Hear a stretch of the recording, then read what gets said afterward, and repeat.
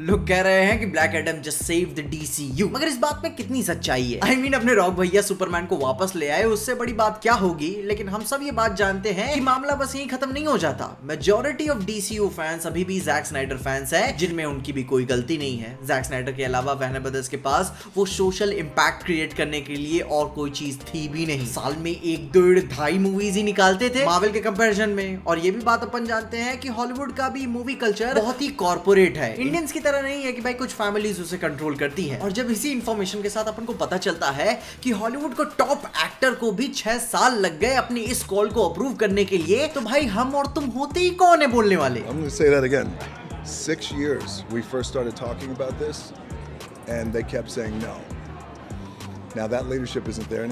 Because we usher in a new era in the DC universe, and we usher out an old era in the DC universe too. This is a great start मैं अभी भी बहुत ज़्यादा खुश नहीं होना चाहता क्योंकि अभी बहुत ही ज़्यादा इंतज़ार करना भी है। जॉनसन ने डीसीयू को सेव किया या नहीं किया? मगर हाँ शुरुआत तो इन्हीं से हुई है। जो कि अब अपना 2023 से तुम भूल ही जाओ कि असली सुपरमैन बैटमैन और वंडर वुमन कुछ देखने को मिलेंगे क्योंकि अगले साल इट फील्स लाइक कि जैज लॉ पुराने डीसीयू का सारा माल डंप कर रहे हैं। क्योंकि दूर से देखने में तो यही महसूस हो रहा है क्योंकि अब उन्होंने जैसा बताया कि उन्होंने डीसी का अपना एक नया स्टूडियो बना दिया है तो भाई इसे तो खाली करना ही पड़ेगा। क्योंकि ऐसा करते हुए आज तक पूरे डीसी की हिस्ट्री में कभी ऐसा नहीं हुआ कि उन्होंने एक साल में हमें कभी चार पिक्चरें दी हो। जिसको पता नहीं फैंस के लिए कंपनसेशन कह सकते हो या फिर माल डंप करना ही मान सकते हो। क्योंकि 2023 में हमें Shazam 2, Flash, Blue Beetle, Aquaman 2 सब देखने को मिल रहा है। तो मामला तो बहुत ही टाइट लग रहा है कि भाई मास्टर प्लान की आउटलाइन बन चुकी है बस उस लगाम को पकड़ने वाला कोई एक अच्छी लीडरशिप चाहिए। क्योंकि डीसी को सेटअप करना कोई बहुत बड़ा रॉकेट साइंस नहीं है क्योंकि अब चीज़ें फिर से फ्रेश स्टार्ट करनी है। जस्टिस लीग की बेसिक मेंबर्स को ही देख लो और पिक्चर बनाना शुरू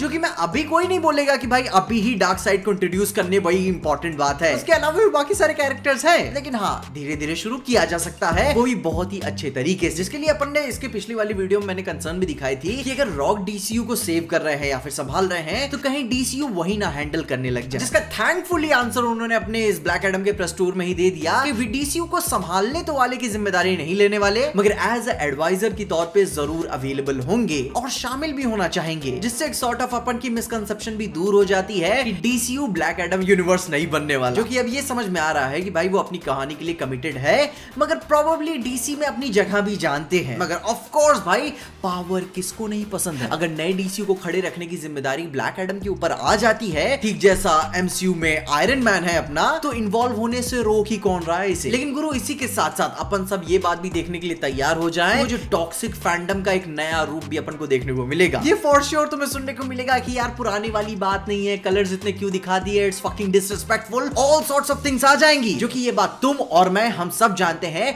कि डीसीयू अपना डीसी को लेकर एक बहुत ही बड़ा टोनल शिफ्ट लेगा। वे 100% यार जैक स्नाइडर की तरह डार्क नहीं होने वाले, और वो जो इंटरनेट के अपने डार्क पसंद लोग हैं वो अपना काम करेंगे। खैर जैक स्नाइडर के लिए मेरे दिल में कोई दो सवाल नहीं है। मैं अभी भी उनका बहुत ही बड़ा फ़ैन हूँ और मैं उनके डार्क जस्टिस लीग का विजन पूरा होते हुए देखना चाहता हूँ। मगर साथ ही साथ मैं ये भी नहीं देखना चाहता कि पूरे डीसीओ को वही डायरेक्ट करे। खैर फिर भी वो जो भविष्य की बातें होंगी वो काफ़ी ओपिनियटेड होंगी। पिक्चर अच्छी लगे तो अच्छा बोलना बुरी लगे तो गांड में घुस जाना किसी पे कोई तुम्हें एहसान करने की ज़रूरत नहीं है। मगर थोड़ा इस पे भी ये ज़रूर सोचना कि डीसी जैक स्नाइडर के बिना भी बहुत कुछ है। इसके बारे में तुम अपने ओपिनियंस मुझे कमेंट से ज़रूर बताना। और भाई ब्लैक एडम में सुपरमैन के दिखने के ऊपर अगर आपको और सारी इन्फॉर्मेशन चाहिए तो आप मेरी इस वाली वीडियो को ज़रूर देखना। तो मैं सारी इन्फॉर्मेशन मिल जाएँगी। मगर तब तक के लिए देखते रहिए। पीजे एक्सप्लेन